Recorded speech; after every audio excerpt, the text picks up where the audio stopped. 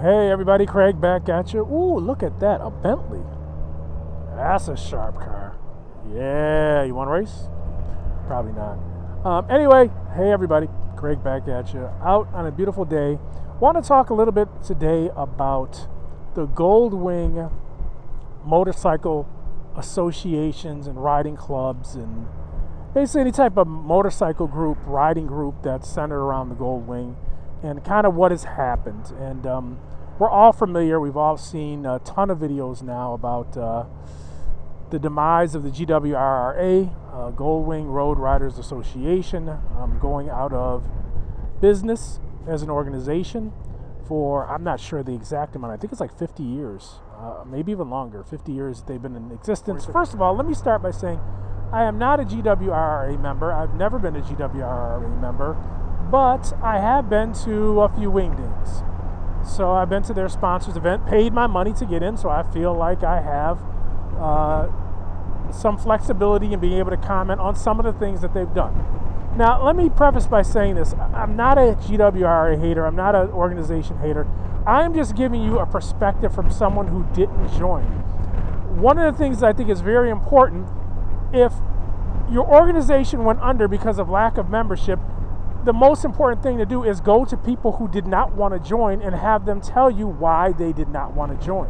You're not going to get as big or as a quality of a response from people who are in the organization as to why people don't want to join the organization, as opposed to people who refuse to join the organization and getting their reasons. So, one of the main reasons I'd heard from uh, members and why people didn't want to join is that the they needed to open up to other brands of motorcycles so they can get younger riders. A young person for touring motorcycle organizations is 40 years old. If you can get them at 40, you've got a young person. Another thing that I read online was that people said, well, the reason the organization didn't do as well is because they didn't have a clear mission statement. Our mission statement needs to be better. Okay, let me tell you this no one cares about what your mission statement is.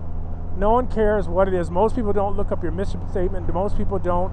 You know, you can come up with a mission statement that talks about, you know, safety in riding and and uh, quality of life, whatever you want to say your mission statement is. You can come up with a mission statement.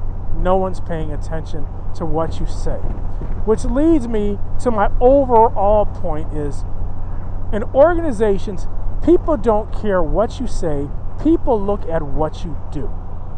And that is why the organization GWRRA was doomed to, at some point, close down. Before I get everybody hitting the down, the dislike button on this video, I'm going to say this. Don't, don't hear something that I didn't say. GWRA was a fantastic organization and accomplished much for what it was set out to do in the generational period that it was set out to do it. GWRA, this organization had a generational lifespan, and that's not a knock. Most organizations have a generational lifespan. Most organizations are not around for 150, 200 years. A good organization will last a generation. It'll last maybe 50, 60, 70 years. If you can get your organization to last that long through a lifespan, you have had a successful organization. The reason why organizations die off is because at some point, at the height of their popularity, there needs to be a generational shift. And it's hard for organizations to shift when things are working real well. The problem with that is, as thinking things are working well, people are aging and they grow accustomed to what they like.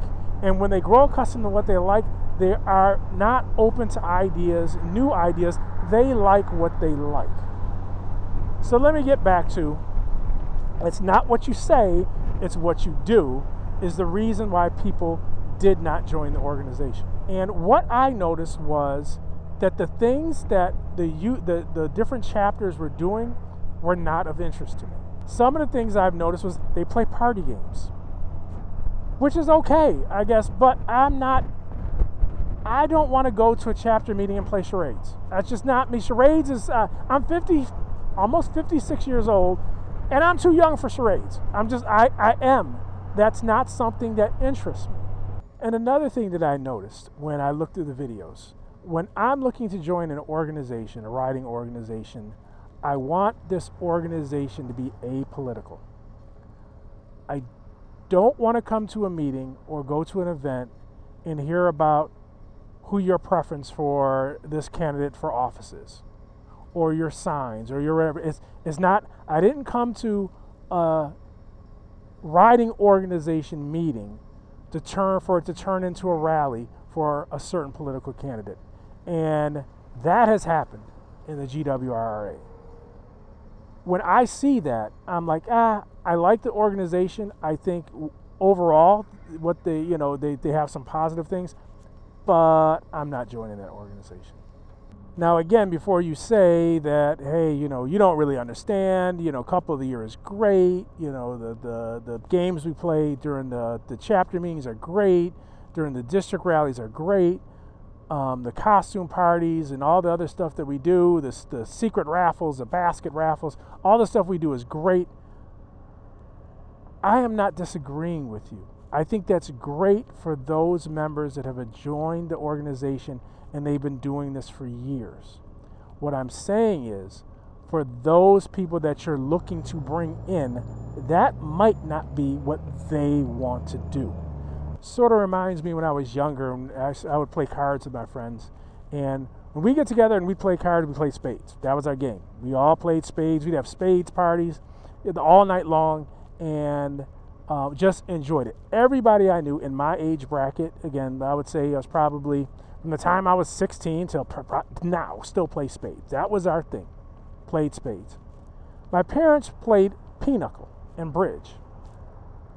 I don't know how to play pinochle and bridge. I didn't want to know how to play. My mom tried to teach me, like, you want to learn how to play pin- pinochle? No, that's not my thing. That's your thing. At some point, the pinochle players and the bridge players die out, and nobody plays pinochle and bridge anymore at some point, I would assume the spade players are going to die out and no one's going to play spades anymore. That's, I guess, maybe the best analogy I can do. The Goldwing, different, the different riding association groups are pinochle bridge players. So pay, play pinochle and play bridge and enjoy it. But unless you switch your game, you're going to be the last of that group. So now, there's some new organizations that have started up and I don't want to say replace, supplement, or whatever they were for the GWRA, but there's new organizations that have started up. I think one is Eagle Wings, and I've been paying attention to them. And I will say this if they have an event, I will go. I will support. I'm not against organizations. I will support. I, with my money, I will support. Am I going to join? Not if it's the same pinochle and bridge players. Not if they're doing the same things. So, do I think the new organizations or the other organizations that concentrate on Goldwing riders um, are going to survive? Not if they don't change. Not if they don't change. They got a shelf life. And unless they do something different, they'll be good for the for the constituents and the members that want to do the things that they do, but you're not going to draw any new members. Finally, another analogy. Remember when the 2018 this Goldwing came out? Remember when this came out and everybody freaked out, lost their mind? Oh my God, it's a sports bike, it's a scooter. That's not a real Goldwing.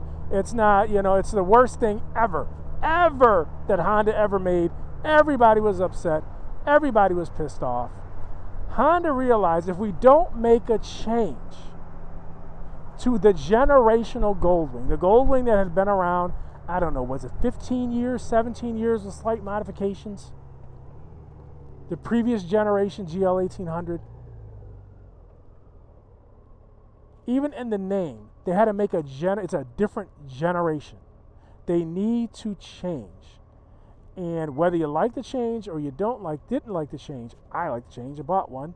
I see a lot of people are buying them now. People are not complaining about them like they used to. People are getting in line to buy them. Whether you like the generational change or you didn't, Honda recognized to keep the gold wing going, we've got to change. And it has to be something that's different, significantly different from what we've done in the past. Goldwing organizations that have been around a long time have to do something significantly different in order for the organization to carry on. So anyway, hope everybody had a great day. Uh, hope everybody's out riding, and enjoying themselves. It's a beautiful day. Gonna head on home, grab some dinner, and enjoy the rest of the evening. So take care, everyone, and God bless.